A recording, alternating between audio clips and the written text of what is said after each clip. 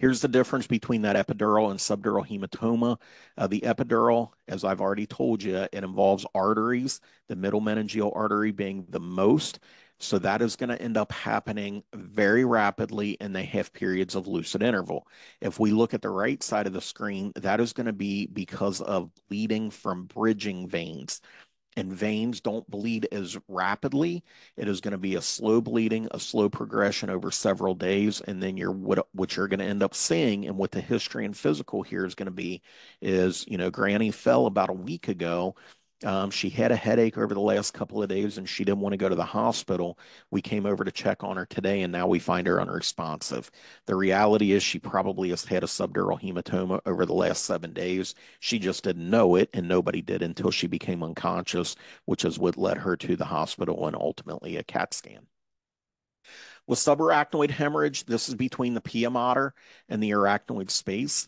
Um, this is also an artery involvement, so it is going to be a faster onset, and it's from the vertebral artery.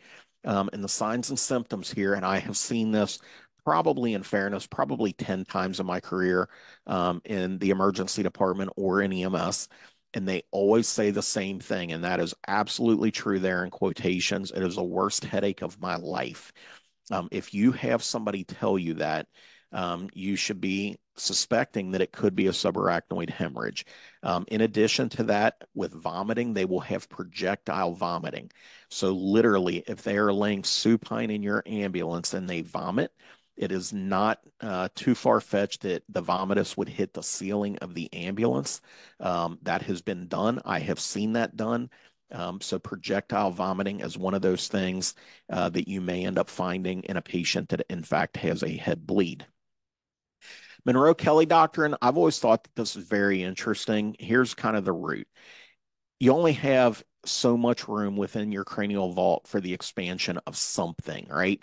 So if blood, brain, or CSF, which are the three things that should be inside that cranial vault, if one goes up, then you have to have a loss in something else. So if I take a baseball bat and I hit somebody in the head with it and they have brain swelling, then I know the brain's increasing. I have to lose blood and CSF, which is why we end up teaching that you should see otorrhea or rhinorrhea. So you're going to end up having that leakage of fluid from either the the uh, the nose or the ears, and that's simply because it is escaping out because there's no room for it there.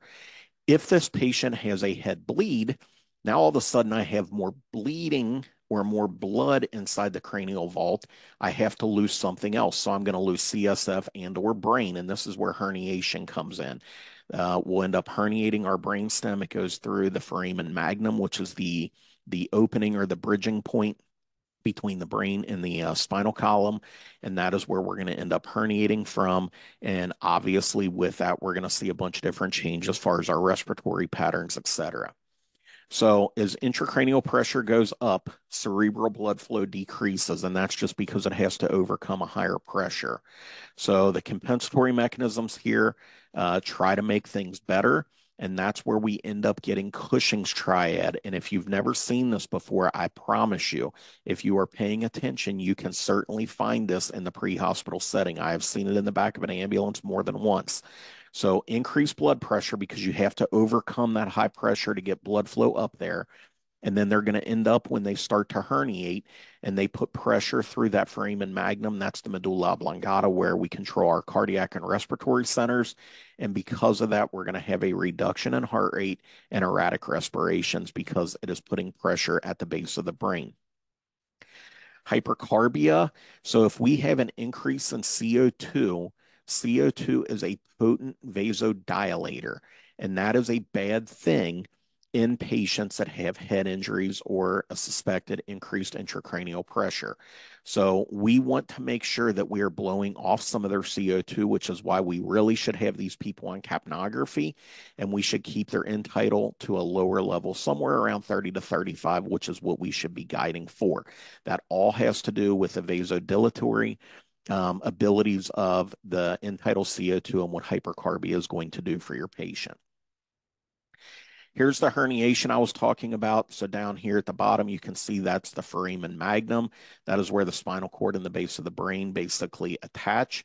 And in time, If I put too much blood inside the cranial vault, then the brain is going to start pushing down through the foramen magnum. If I have too much brain inside the cranial vault, then I'm going to end up losing blood or CSF through the foramen magnum, and I'm also going to lose those through the nasal cavity and the ears, which is where our rhinorrhea and otorrhea come from.